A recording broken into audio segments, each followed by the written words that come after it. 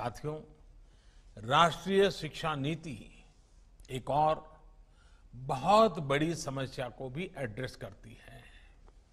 यहाँ तो बड़े बड़े अनुभवी और जानकार लोग मेरे सामने उपस्थित हैं। आपने ज़रूर महसूस किया होगा कि हमारे देश में लर्निंग ड्रिवन एजुकेशन की जगह कोई बुरा मत मानना, लेकिन हकीकत है, आज स्थिति यह है, मार्क्स और मार्कशीट, ये एजुकेशन हावी है। लर्न तो बच्चे तब भी कर रहे होते हैं, जब वो खेल रहे होते हैं, जब वो परिवार में बात कर रहे होते हैं, जब वो बाहर आपके साथ घूमने जाते हैं। लेकिन अक्सर माता पिता भी बच्चों से ये नहीं पूछते हैं कि बेटे तुमने क्या सीखा, बेटी तुमने क्या सीखा। नहीं पूछते हैं। पूछते हैं तो क्या पूछते हैं? यही पूछते हैं कि मार्क्स कितने आए। हर चीज़ वहीं जाकर के अटक जाती है। कुछ परिवार हैं जिनको आदत हो गई, पूछते हैं अच्छा आज स्कूल में खाना क्या मिला था? इन्हीं चीज़ों के आसपास टेस्ट में नंबर कितने नंबर आए?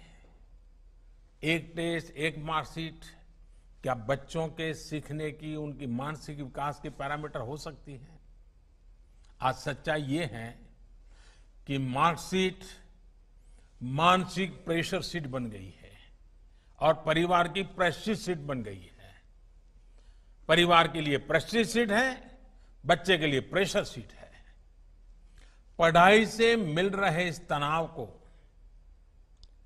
मेंटल स्ट्रेस से अपने बच्चों को निकालना राष्ट्रीय शिक्षा नीति का एक मुख्य उद्देश्य है।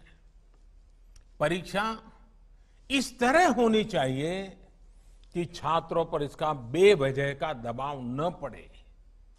और कोशिश ये है कि केवल एक परीक्षा से छात्र छात्राओं का मूल्यांकन न किया जाए, बल्कि self assessment peer to peer assessment ये छात्रों के विकास के विभिन्न पहलुओं का मूल्यांकन हो।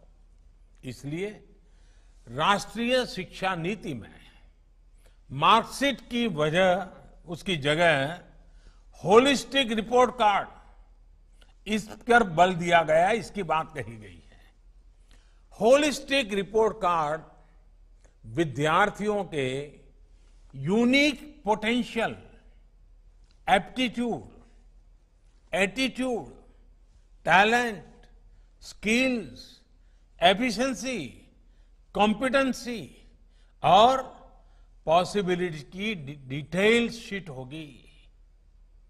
मूल्यांकन प्रणाली के में संपूर्ण सुधार के लिए एक नए राष्ट्रीय मूल्यांकन केंद्र परख की स्थापना भी की जाएगी।